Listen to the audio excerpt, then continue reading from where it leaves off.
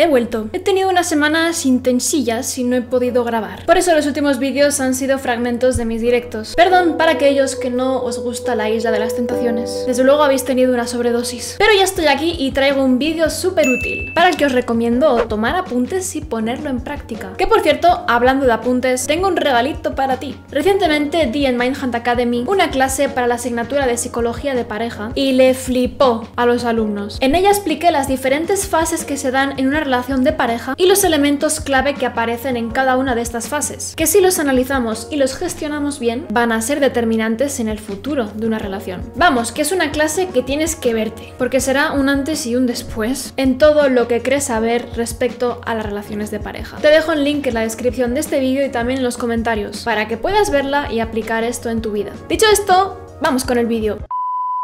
Cómo discutir en pareja. Guía rápida para gestionar los conflictos, malentendidos e incertidumbres, no solo no muriendo en el intento, sino logrando que esta discusión sea algo productivo. Porque sí, amigos, discutir es bueno y necesario. Ahora bien, discutir no es lo mismo que pelear. Discutir es examinar conjuntamente un asunto y plantear vías para mejorarlo. De hecho, lo que os digo siempre, a mí una relación me empieza a preocupar cuando ya dejamos de discutir. Cuando ya estamos tan hartos, cansados, fríos, que ni nos sale decir en alto aquello que podría mejorarse. Ese punto de indiferencia, como que ya... Nos da igual todo. Punto al que solemos llegar cuando en vez de tratar las cosas y discutirlas, empezamos a guardarnos las cosas, a renunciar a una posible mejora de la relación y a desconectarnos emocionalmente. Entonces, bueno, vamos con una serie de consejos para discutir adecuadamente. Vais a ser unos discutidores excelentes. Ataques, violencia, buscar hacer daño, castigo, rencores, hacer ley del hielo. Eso no lleva a ningún sitio. Se pueden expresar las emociones y ser asertivos sin ver a la pareja como a un enemigo. Y esto nos lleva al primer consejo. Tener todo el tiempo en mente que tu pareja y tú sois un equipo y que estáis trabajando juntos para resolver un asunto. En la ecuación sois tres. Tú, tu pareja y el problema. Y esto es muy importante porque si perdemos esta perspectiva, se va a convertir en una guerra de a ver quién tiene la razón. ¿A que no puede lanzar un gato por encima de la casa? Que no, madre mía, te digo yo a ti que sí. Y el objetivo aquí no es individual, no estás buscando un beneficio para ti. El objetivo es cuidar y mejorar la relación, es conjunto. Entonces, antes de hacer o de decir algo, ten siempre en mente. Esto sirve para mejorar la relación o para dañarla. Aunque claro, esto no es tan sencillo, porque a veces podemos confundir lo que decimos con cómo lo decimos. Y podemos estar diciendo algo bueno, pero por cómo lo decimos, dañamos la relación. Y aquí va el segundo consejo. Siempre piensa unos segundos antes de hablar y piensa bien cómo vas a formularlo. Porque en una discusión solemos estar tan tensos, tan miedosos, tan a la defensiva, que igual puede ser que los dos estemos diciendo lo mismo, pero en vez de fijarnos en el mensaje, nos fijamos en las palabras y nunca llegamos a entendernos, pese a estar manifestando lo mismo. Por eso siempre te voy a recomendar que trates de hablar más de sentimientos que de acciones y que formules más en primera persona y en plural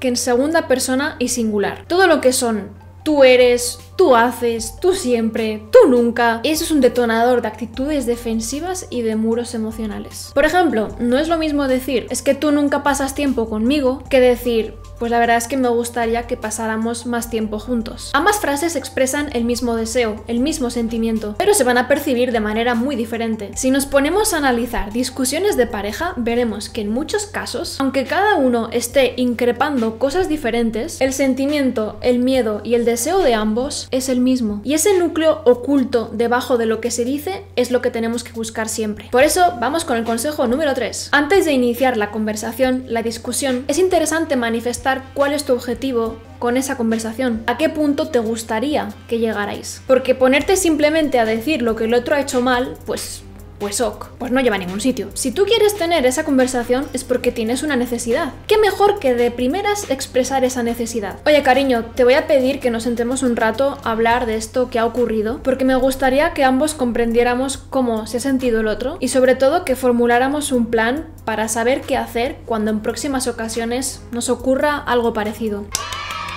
Haciendo esto, la conversación ya se enfoca con un propósito de equipo. Somos tú y yo versus el problema. Muy diferente que comenzar diciendo que sepas que me ha molestado esto y esto y esto y lo otro. Además, en muchas parejas sucede que uno es más comunicativo, más proactivo y saca más los temas difíciles. Y el otro igual es más evitativo, no se gestiona tan bien emocionalmente o le cuesta más arrancar y expresarse. Y quizás de primeras pues muestra más resistencia, responde con monosílabos, igual mira a otro sitio. Entonces, claro, el comunicativo puede percibir la dificultad del otro como una falta de interés o de implicación. Y dice, pues nada, paso y se lo guarda. Y luego estalla. Si identificáis que este es vuestro caso, recomiendo que el evitativo le diga al otro, oye, este tema que has sacado me importa, me interesa lo que me tienes que decir. Hay que decirlo explícitamente, porque a veces nuestros gestos y actitudes dan a entender cosas que no son. El comunicativo, escuchando esto y recibiendo una confirmación de que su conversación es bienvenida, podrá continuar exponiendo y trayendo herramientas a la mesa, y el evitativo podrá poco a poco ir abriéndose, cosa que así de primeras le suele costar un poco más. No todos funcionamos igual, y es importante ver qué virtudes tiene cada uno, para así coordinarnos y funcionar juntos. Cuarto consejo, elaborad un plan de cómo discutir y gestionar los conflictos y malentendidos. Sí, sí, como lo oyes, sé que parece absurdo, pero frente a los conflictos y al malestar emocional, cada persona tiene reacciones y necesidades diferentes. Hay, por ejemplo, quien necesita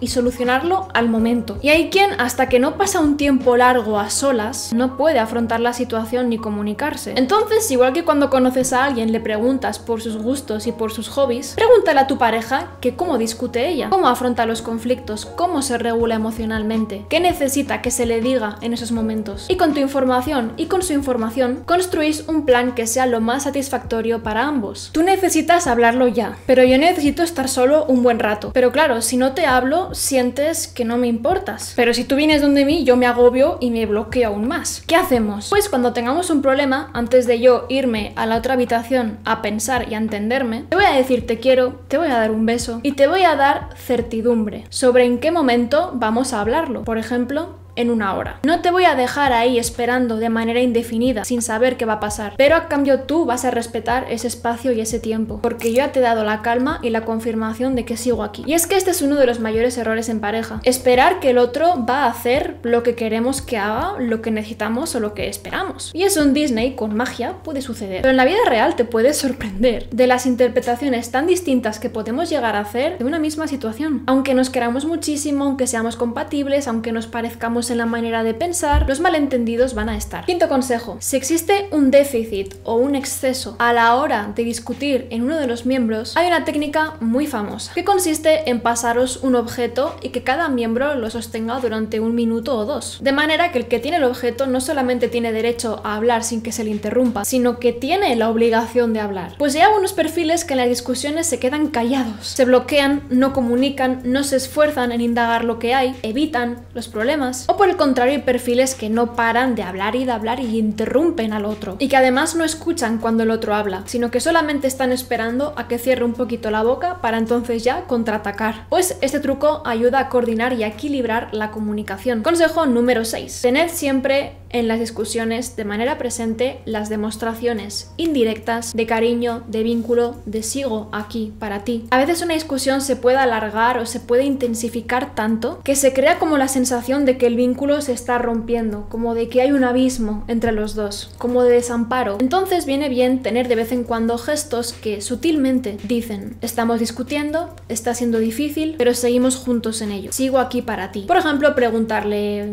¿tienes calor? ¿Quieres que abra la ventana? Espera, ahora seguimos hablando. Voy a por papel para que te limpies. Em, voy a la cocina a por agua. ¿Quieres que te traiga algo? O simplemente agarrar la mano, cualquier cosa. En fin, espero que te haya gustado este vídeo y que te haya sido muy útil. Si quieres aprender sobre psicología de pareja, no puedes perderte esta clase. La tienes de manera gratuita en la descripción y también en los comentarios de este vídeo. Y por supuesto, no puedes perderte la asignatura de psicología de pareja y sexualidad de la academia. Que de hecho dentro de poco voy a dar una clase sobre el deseo en pareja. Cómo conservarlo frente a la rutina y el paso del tiempo. Vamos, los alumnos van a salir de ahí con unas relaciones de pareja envidiables.